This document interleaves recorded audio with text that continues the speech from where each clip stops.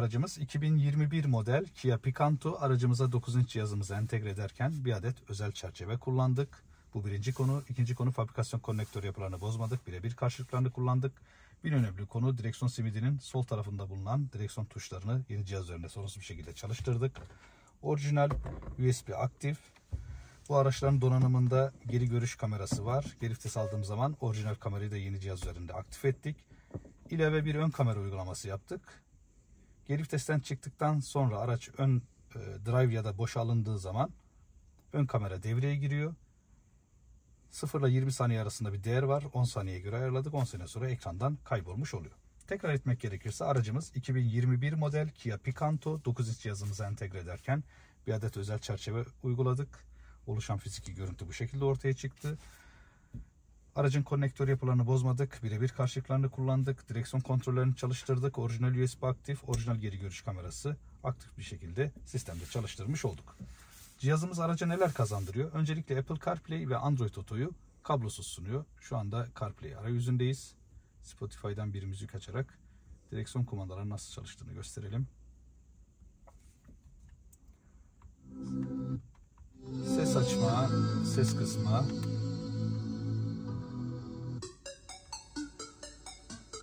şarkı geçişleri sorunsuz bir şekilde çalışıyor. Sessiz alma çalışıyor. Çağrı geldiği zaman telefon açma kapama çalışacak. Mod kaynaklar arası geçiş olarak çalışıyor. Bas konuştu aktif. Orada mısın? Dinliyorum. İstanbul'da hava nasıl? İstanbul'da şu anda gökyüzü açık ve sıcaklık 19 derece. Gibi kullanıcı artık hem Apple CarPlay'de hem de Android Auto'da direksiyon simidini elinden bırakmadan birçok işlemi konuşarak yapabilecek. Apple CarPlay ve Android Auto'yu kablosuz sunan cihazımız aynı zamanda her iki akıllı telefondan ekran yansıtma yani Screen Mirroring'i de kablosuz olarak gerçekleştirmiş oluyor. Başka neler yapıyor? Radyo kısmı, radyoda RDS sinyallerini alabilir nitelikte radyo istasyon hafızaları var.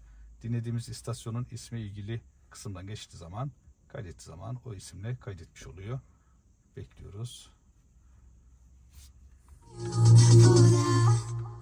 Direksiyon kumandaları da yine burada sorunsuz bir şekilde çalışıyor.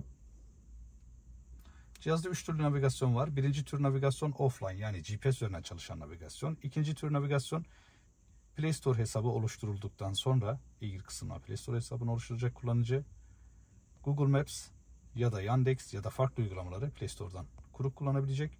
Üçüncü tür navigasyon ise Apple CarPlay ve Android Auto modundayken konum mantığını kullanmış olacak. Far duyarlılığı da gece gündüz modları da sorunsuz bir şekilde çalışmış oluyor. Telefonla görüşme ve telefondan müzik aktarım için Bluetooth altyapısı. USB'ler üzerinden videolar ya da müzikler açabiliyor. Biraz önce orijinal USB'nin aktif olduğunu söylemiştik. Buradan klasörlerini seçip dilediği şarkıyı dinleyebilecek. Ya da yine bu şekilde ilgili yine orijinal USB üzerinden videolarını da açmış olacak.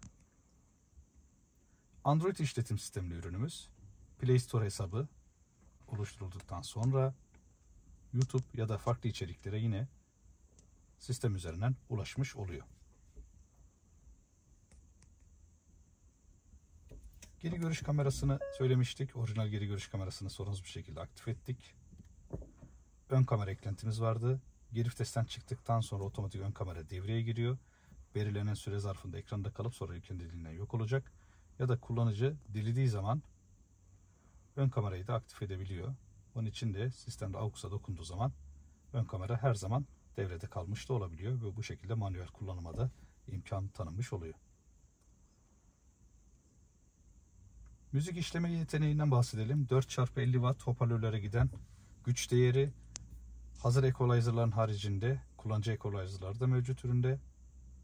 DSP zaman ayarı, birçok ayarı, ilgili frekans ayarlarının tamamını ilgili sistem üzerinden yapabiliyor. Dileyen kullanıcıları için de ilaveten amfi çıkışları da cihazımızda mevcut.